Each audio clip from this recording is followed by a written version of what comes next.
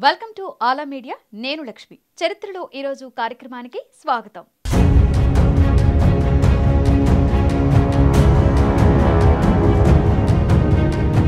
ప్రతి రోజుకి చరిత్రలో ఏదో ఒక ప్రాముఖ్యత ఉంటుంది. అలా చరిత్రలో డిసెంబర్ ఇరవై ఆరున జరిగిన ముఖ్యమైన సంఘటనల గురించి ఈ ఎపిసోడ్లో తెలుసుకుందాం. రెండు వేల నాలుగు డిసెంబర్ ఇరవై ఆరున ప్రపంచ చరిత్రలో చెరిగిపోని రోజు.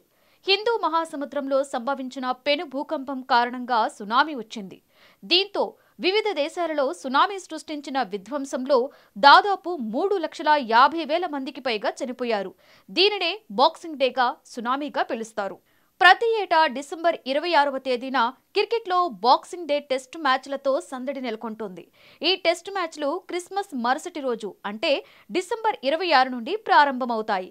బ్రిటన్ ఆస్ట్రేలియా న్యూజిలాండ్ దక్షిణాఫ్రికా కెనడాతో పాటుగా కామన్వెల్త్ దేశాలలో క్రిస్మస్ తరువాత రోజును బాక్సింగ్ డేగా పిలుస్తారు. అందుకే ఈ రోజు నుండి ప్రారంభమయ్యే టెస్ట్ మ్యాచ్లను బాక్సింగ్ డే టెస్ట్ మ్యాచ్లు అంటారు.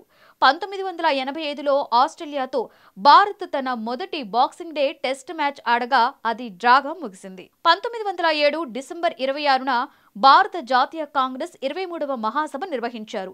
ఈ మహాసభలో పార్టీ సభ్యులు అతివాద మితవాద వర్గాలుగా చీలిపోయారు.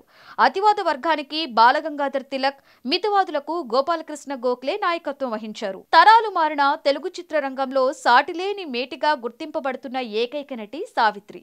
మీ ఫేవరెట్ హీరోయిన్ ఎవరు అంటే సావిత్రి అని చెప్పేవాళ్ళు ఇప్పటికీ తెలుగునాట కోట్లలో ఉన్నారు.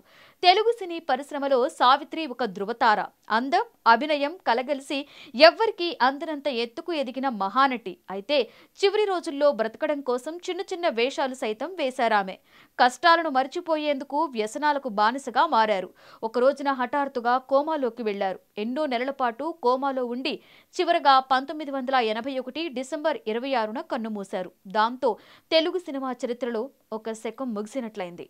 టైమ్ మ్యాగజైన్ ఏటా ఇచ్చే మ్యాన్ ఆఫ్ ది ఇయర్ పురస్కారాన్ని పంతొమ్మిది వందల ఎనభై రెండు డిసెంబర్ ఇరవై ఆరున పర్సనల్ కంప్యూటర్కి ఇచ్చింది. మనిషికి కాకుండా ఆ గౌరవాన్ని ఒక యంత్రానికి ప్రకటించడం అదే మొదటిసారి. అయితే మ్యాన్ ఆఫ్ ది ఇయర్ని ఎంపిక చేసే సాంప్రదాయం పంతొమ్మిది వందల ఇరవై ఏడులో ప్రారంభమైంది. Time magazine man of the year పురస్కారానికి ఎంపికైన ఏకైక భారతీయుడు మహాత్మా గాంధీ మాత్రమే. భారతదేశ తొమ్మిదవ రాష్ట్రపతి శంకర్ దయాళ్ శర్మ పంతొమ్మిది వందల తొంభై తొమ్మిది డిసెంబర్ ఇరవై ఆరున కన్నుమూశారు. భోపాల్లో జన్మించిన శర్మ ఆగ్రా అలహాబాద్ లక్నోలో చదువుకున్నారు. కేంబ్రిడ్జ్ విశ్వవిద్యాలయం నుండి డాక్టరేట్ని పొందారు.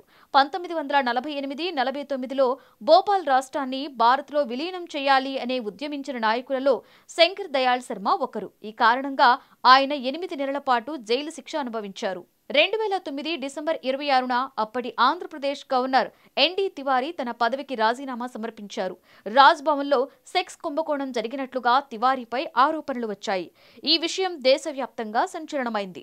దీనిపై ఇంటెలిజెన్స్ బ్యూరో విచారణ జరిపి కేంద్రానికి నివేదిక సమర్పించింది. నివేదిక అందిన వెంటనే రాజీనామా చేయమని ఆదేశించింది. లేదంటే బర్తరఫ్ చేయక తప్పదు అని ఢిల్లీ పెద్దలు హెచ్చరించడంతో తివారీ రాజీనామా చేశారు. స్వాతంత్ర సమరయోధుడు ఉద్దమ్ సింగ్ పద్దెనిమిది వందల తొంభై తొమ్మిది డిసెంబర్ ఇరవై ఆరున జన్మించారు. ఈయన జనరల్ మైకేల్ ఓడయర్ను చంపి ప్రసిద్ధుడయ్యారు. ఈ డయ్యరే జలియన్ వాలాబాగ్ హత్యకాండకు సూత్రధారి. ఉద్దమ్ సింగ్ తన పేరును రామ్ మహమ్మద్ సింగ్ ఆజాద్గా మార్చుకుని హిందూ మహమ్మదియా సిక్కు మతాలకు ఏకత్వాన్ని ఆస్వాదించారు. ఇరవయవ శతాబ్దపు కాలంలో భగత్ సింగ్ రాజ్గురు సుఖదేవులతో పాటు ఉద్దమ్ సింగ్ని కూడా తీవ్రవాద స్వాతంత్ర సేవకులుగా గుర్తించవచ్చు. పంతొమ్మిది వందల నలభై ఏప్రిల్ పదమూడున జలియన్ వాలాబాగ్ సంఘటనకు ప్రతీకారంగా ఉద్దమ్ సింగ్ లండన్ కాక్స్టన్ హాల్లో మైకేల్ ఓడ్రయన్ని కాల్చి చంపి లొంగిపోయారు. చూశారు కదా చరిత్రలో ఈరోజు కార్యక్రమంలో డిసెంబర్ ఇరవై ఆరుకి ఉన్న ప్రత్యేకత. మరో ఎపిసోడ్లో మళ్ళీ కలుద్దాం. స్టేట్ ఆలా మీడియా.